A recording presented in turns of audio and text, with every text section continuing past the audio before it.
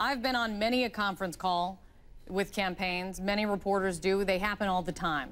I have never been on one like this, and I think many people would say they haven't as well. So our viewers know what we're talking about. I want to play a part of this conference call. It was with the, Co the Thad Cochran campaign, and it got completely out of control. Listen to this.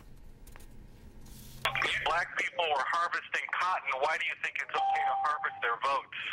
They're not animals. Okay, I'm happy to address any question, no matter the lunacy of it. Why do you use black people to try to get Cochran elected when they're not even Republicans, and you're treating them as if they're just idiots that they'll vote for Cochran just because they're black? That's ridiculous. And if, if the individuals who've decided that they want to try to hijack this call will just let us get through with it, I'll be glad to answer any of the questions. Now, these comments, we don't know who that person was.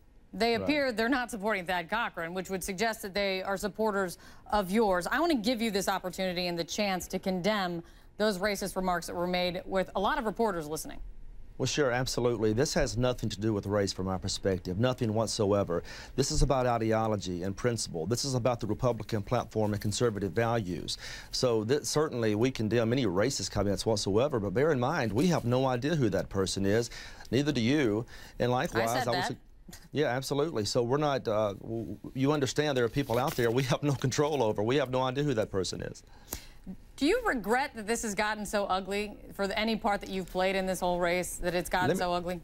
Let me tell you what I regret. Here's what I regret. The last two and a half weeks of that campaign, they went out to Democratic communities, predominantly African American in our state.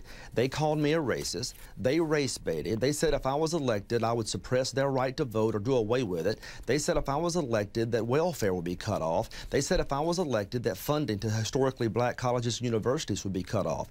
I regret any campaign of divisiveness that deals with race in the manner that they dealt with it.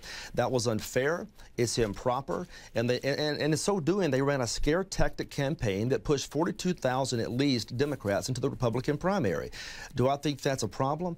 Absolutely. Because I don't think that kind of divisiveness and that type of race baiting belongs in the Republican Party. Well, you definitely don't like how they ran their campaign. That is absolutely clear, Mr. McDaniel. But for the part that you've played, this is two people running in this race. Any regrets that you have in how ugly this has gotten? Which examples do you have where we've been ugly?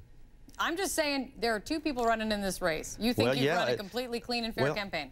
Help me understand which examples do you have that show I haven't run a clean campaign? I'm asking if there are any regrets that you're part of now one of the ugliest primaries that we've seen in a long time. I can't control the Cochran campaign's race bait and name calling. If you can find me an example of where we uh, did something like that, you let me know and we'll talk about it.